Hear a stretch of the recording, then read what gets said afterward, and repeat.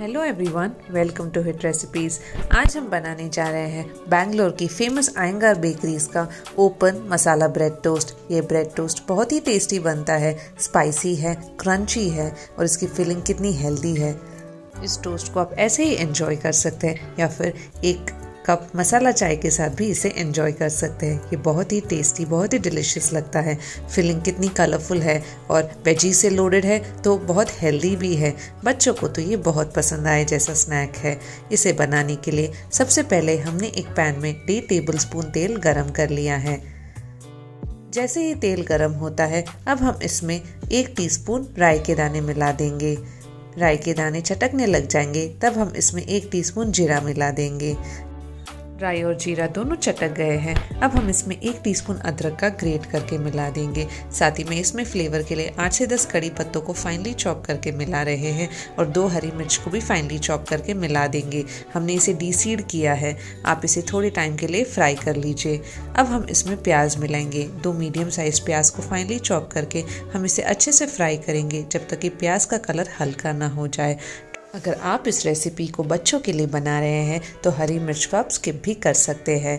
प्याज अच्छे से फ्राई हो गए हैं, अच्छी खुशबू भी आ गई है। अब हम इसमें गाजर मिलाएँगे। एक कप गाजर को फाइनली ग्रेट करके मिला रहे हैं। साथ ही में एक बड़ी कैप्सिकम को भी फाइनली चॉप करके मिला देंगे।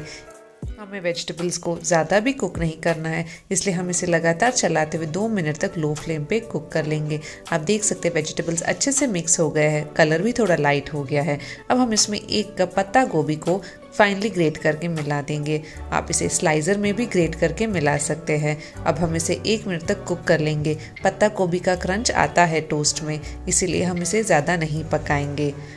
लगभग एक मिनट हो चुका है, हम फ्लेम को लो कर देंगे। इसमें मसाला मिलाने की बारी। एक टीस्पून लाल मिर्च पाउडर, एक चौथाई टीस्पून हल्दी का, साथ ही में आधा टीस्पून धनिया पाउडर, आधा टीस्पून गरम मसाला पाउडर, एक टीस्पून चाट मसाला पाउडर और इसमें सबसे इंपॉर्टेंट नमक स्वाद अनुसार मिला देंगे। इन सारी चीज़ों को हम वेजिटेबल्स के साथ अच्छे से मिक्स कर लेंगे। अब बारी आती है इसमें और एक इंग्रेडिएंट मिलाने की। अब हम इसमें टमाटर मिलाएँगे। एक बड़े टमाटर को हमने बीज निकाल के फाइनली चॉप कर दिया है। अब हम इसे अच्छे से मिलाएँगे और तब तक कुक करेंगे जब तक कि टमाटर सॉफ्ट ना हो जाए और हल्का सा मशी ना हो जाए। आप देख सकते हैं जैसे जैसे हम इसे पकाते जाएँगे वैसे वैसे टमाटर बहुत ही जल्दी से सॉफ्ट और मशी हो जाएँगे। अब हम इसमें मिलाएँगे टमाटर केचप। डेढ़ टेबल स्पून टोमेटो केचप को हम इसमें मिला रहे हैं और इसे भी हम अच्छे से मिक्स कर लेंगे।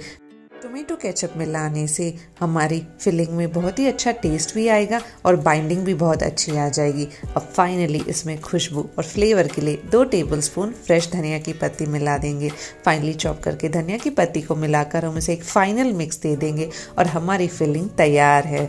आप देख सकते हैं कि कलर्स भी कितने बढ़िया आए हैं और फिलिंग का टेस्ट भी बहुत अच्छा है।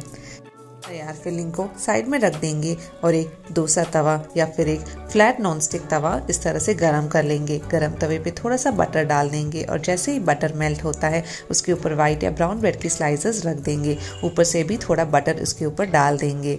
इसे हम तब तक टोस्ट करेंगे जब तक ये नीचे से थोड़ी सी क्रिस्पी और गोल्डन ना हो जाए। जैसे ही वो गोल्डन और क्रिस्पी होगी, हम इसे फ्लिप कर देंगे। अब इस साइड पे हम इस तरह से मिक्सचर डाल देंगे और इसे इवनली स्प्रेड कर लेंगे।